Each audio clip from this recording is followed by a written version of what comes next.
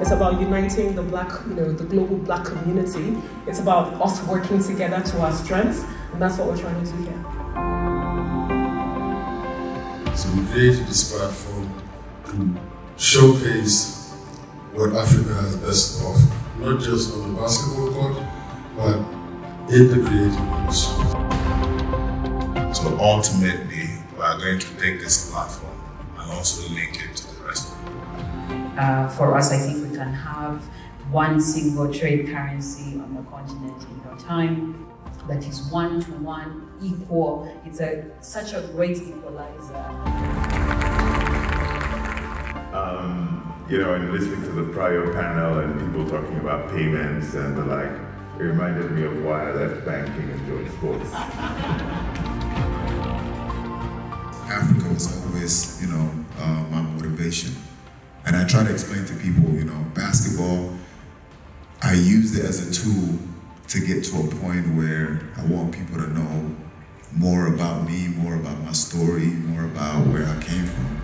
Eventually, if you want to be competitive, you're gonna have to begin to actually demonstrate that you need something about that.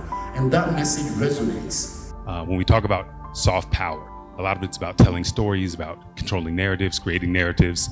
You know, they talked about how you need to have a narrative for the banks. We're going to be talking financing innovation and creative power, redefining infrastructure and shaping a modern economy.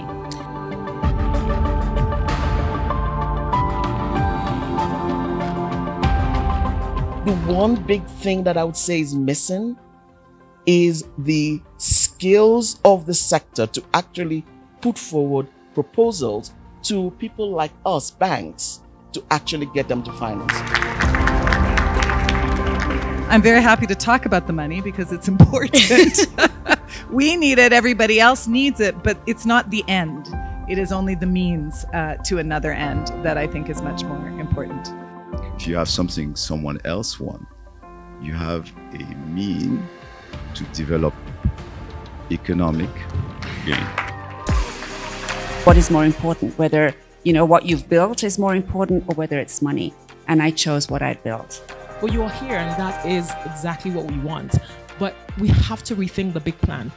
Our population is uneducated. The fastest way to propel them is through creative industry and technology. Politics also responds to pressure.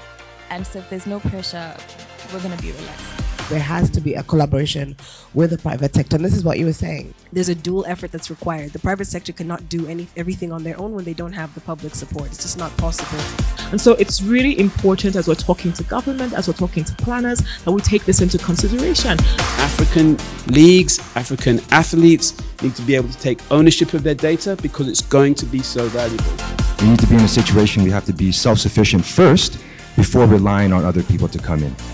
Yeah, so I think women need, um, so there is a lot of potential that we have uh, in business, and we need to figure out those mechanisms to unlock that potential. We have an opportunity over the next 20 years to position Africa properly, to tell the world who we are. It's about saying that no, Africa can be repositioned globally correctly. The opportunity is now.